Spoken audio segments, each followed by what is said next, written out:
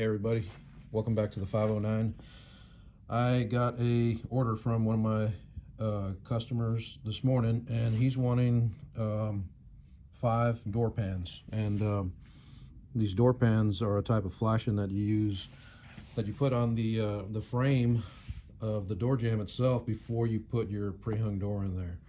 And that way um, it's designed like a Z shape so water can't go uh, in the back, or if it does try to get there, it'll hit that. It'll be it had to be a lot of water to uh, bypass that, and then this goes underneath the door, and then this hangs out in front of the door, and then this would be the door width from that corner to that corner, and then we raise the sides about two and a half inches on each side for a nailer, so you can just drive nails into those legs there, into the door frame. So I've got the metal rough cut, there's two pieces there out of the five, uh, but I was just going to show you how I do one of them and just give you a little bit of a tutorial.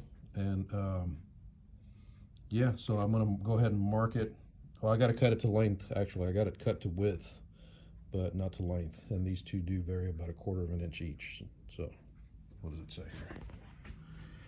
Uh, yeah, see this one is 38 and a half inches wide, and then this one's 38 and a quarter inches wide. So I'll cut those two to length, but I'm gonna just show you how to do one.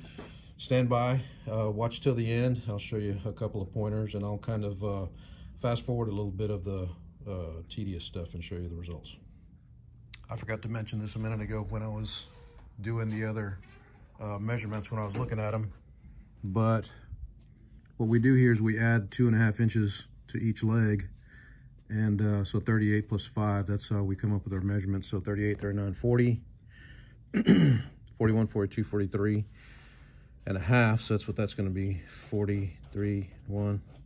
Oops, can't write through the camera. And then by, and then that's going to be 4, 5, 6, 7 and a half. So that's going to be 7 and a half. So you start getting into these other ones, it can be confusing when they're 7 eighths or uh, some kind of a 16th or something. So if you have a little bit of problems or something like that, adding uh, fractions, which I do sometimes, uh, I went to the App Store and I downloaded a uh, fraction calculator. So they work really well and uh, highly recommended. All right, so I went ahead and scribed these two markings for that Z metal here. This is the three quarter inch from the edge to here. And then this is the two inches that goes down. So this one's gonna come up this way. And then this one is gonna go down, oops, underneath. So what I did was I scribed it here just so I could cut it, but I also scribed it underneath right here, way over here past that uh, two and a half inch mark. So that way I can know where to break it when I go to flip it over and stick it in the brake over there. So I'll cut these real quick and, uh, and we'll move on to breaking it.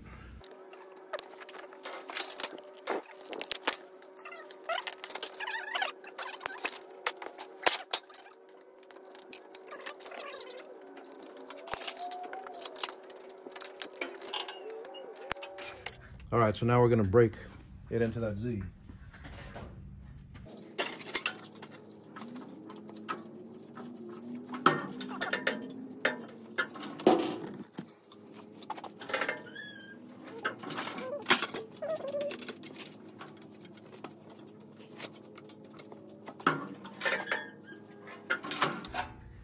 All right, so there's the profile of it.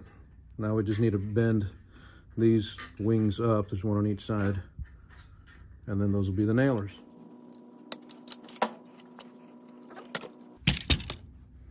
All right, that's it.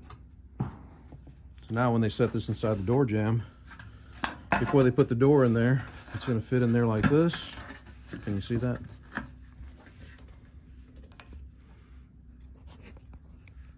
It's gonna fit inside the door here, and then you're gonna have your two by four coming up. Let's see. Okay, this will be the inside uh, of your door frame here. So your two by four will be up like this. And then this just makes as a nailer to nail it from this other side over here. Sorry, right here. Can you see that? Having a hard time here. Anyways, yeah, they slide it in there. And then once they get this nailed in here, then they can caulk these corners and then slide the door right on top of this. And then this, this should be keeping your door jamb waterproof. Okay, so we're done with the door pan and here's the finished product.